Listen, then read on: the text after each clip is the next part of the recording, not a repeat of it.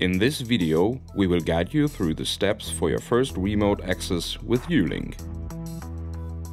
To do so, you need a Weidmuller security router with VPN functionality, a Windows PC with a web browser, and last but not least, internet connectivity.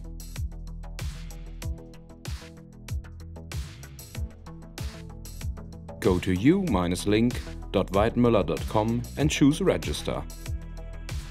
Fill in the information and pay attention to enter a correct email address.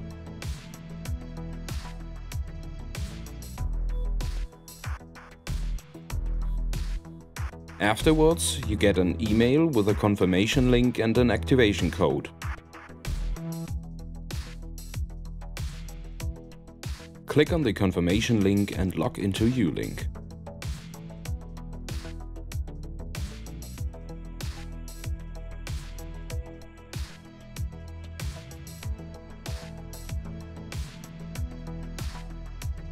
In the lower section you find up-to-date information, documentation and downloads published by the u-link administrator team. Download the u-link VPN client and install it with administrator rights.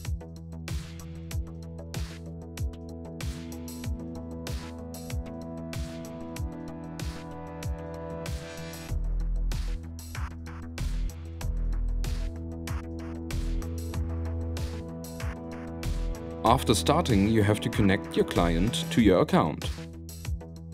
To do so, go to Configuration and click on Register. Type in the activation code you received in your email.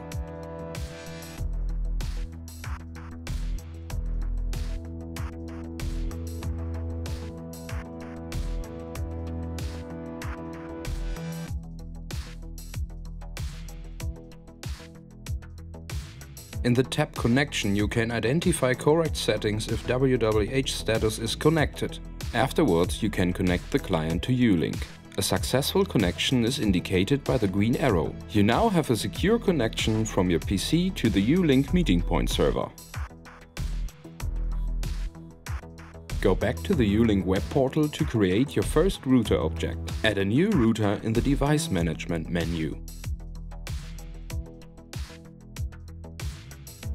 Via drag and drop to the main area you can create the router object. A unique router activation code will be generated. Save this code for later. Now you have finished configuration of the u-link portal and client. Open your browser and type in the default IP address of the router. Make sure your PC has an IP address in the same subnet. Log in with the factory default name and password. Go to IP configuration to configure network settings. If the router can get an IP address by DHCP server, set IP to DHCP for the WAN port and activate checkboxes for DNS and gateway via DHCP. Also activate checkbox NAT masquerading so you can reach LAN devices even if they don't have a gateway configured. If you want to use static IP address, choose static on WAN interface, insert IP and subnet mask instead of DHCP. To check your settings, go to Diagnosis menu and perform a ping test. To do so, insert a public internet IP address. If this doesn't work, your router has no internet connection. Accordingly, ping an internet hostname as google.com.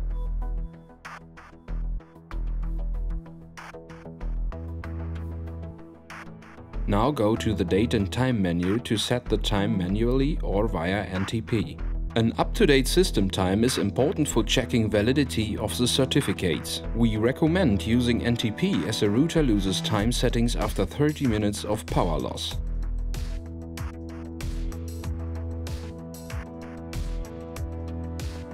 Now we go to VPN configuration and activate the u-link instance.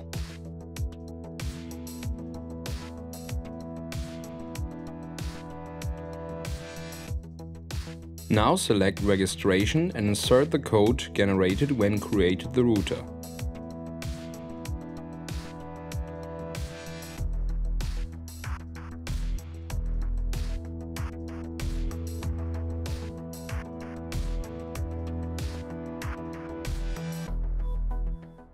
Update the page regularly until registration is finished.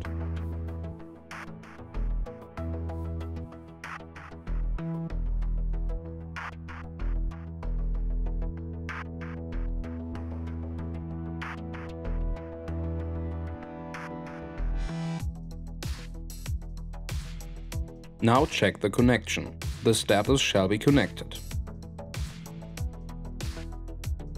Now the configuration is finished and the first remote access can be performed. Disconnect the router from your PC and go back to the u-link portal.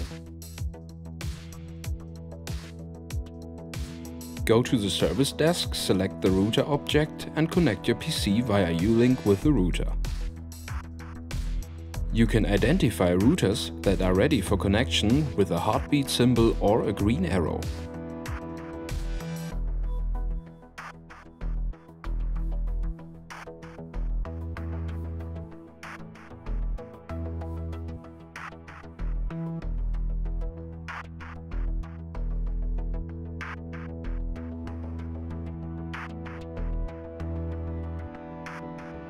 After a short time that is needed for establishing the secure connection, a complete green arrow symbolizes the connection. The remote access is activated and accessible networks are listed.